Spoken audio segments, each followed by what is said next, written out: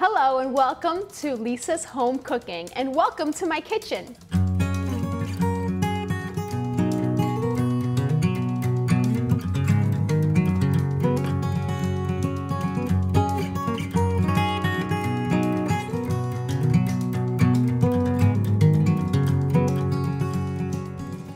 Today I'm going to show you one of America's favorite dishes, chicken parmesan.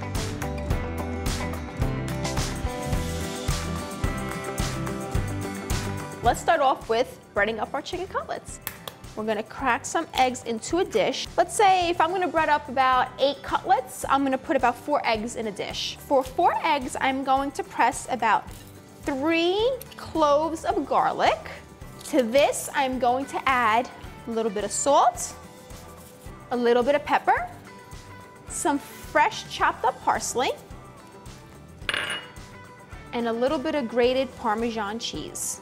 Now when I say a little bit, I'm talking one scoopful. Now we're gonna mix this all up.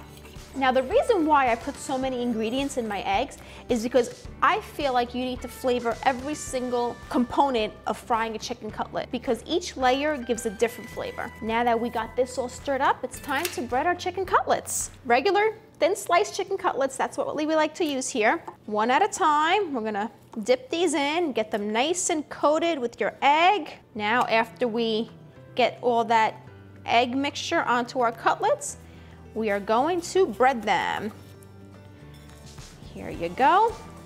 Now the reason why when I fry chicken cutlets, I do more than I need is because I love to freeze some of them. So for future, if I do want to make another tray of chicken parmesan, half of the process is already done.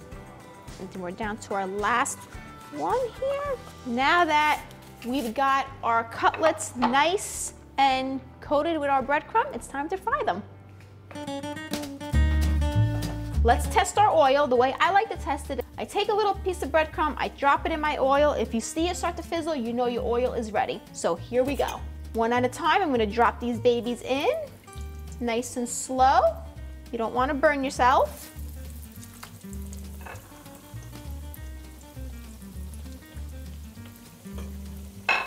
And you're going to cook these for about two minutes on each side. My other trick is that I like to take a dish and line it with some paper towel because when they come out of the oil, I want the excess oil to be absorbed by the paper towel. You can leave your heat on medium high to cook. You could actually start to see when these are ready to get flipped as the edges start to brown. I think these babies are ready to get flipped. So what you're looking for is this golden brown color, just like this. And you get these one at a time. I know when I'm making these and my husband pops in the kitchen, he always likes to steal one from the pot. Now these are ready to come out of the oil. Right onto my paper towel lined dish.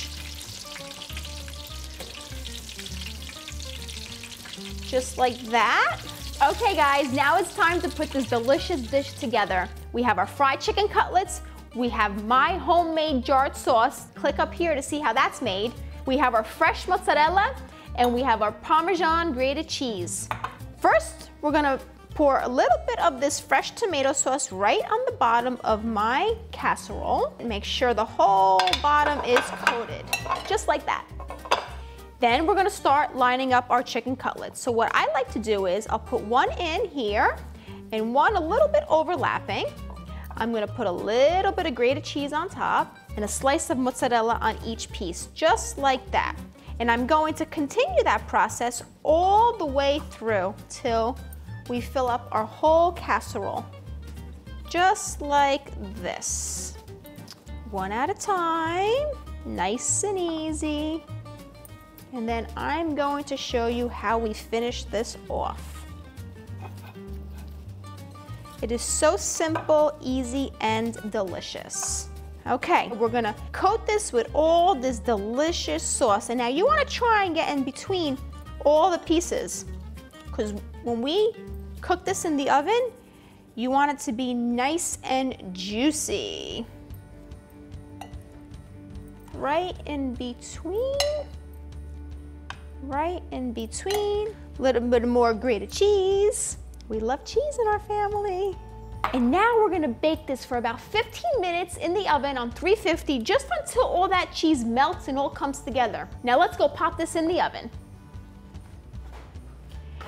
Okay, we're gonna stick this in the oven for 15 minutes. We'll see you when it's done.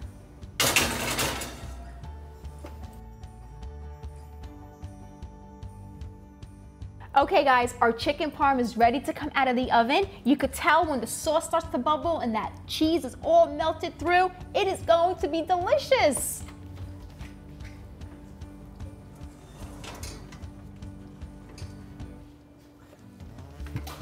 Okay, so this is what you're looking for. Nice bubbly sauce with melted cheese.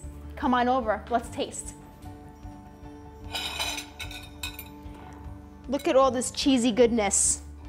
Now, who wouldn't want to eat a piece of this?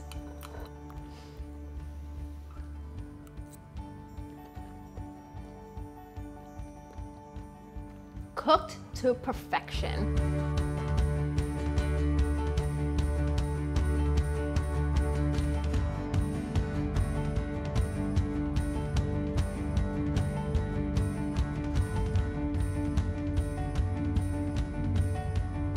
Now remember guys, to like my video and subscribe to our channel.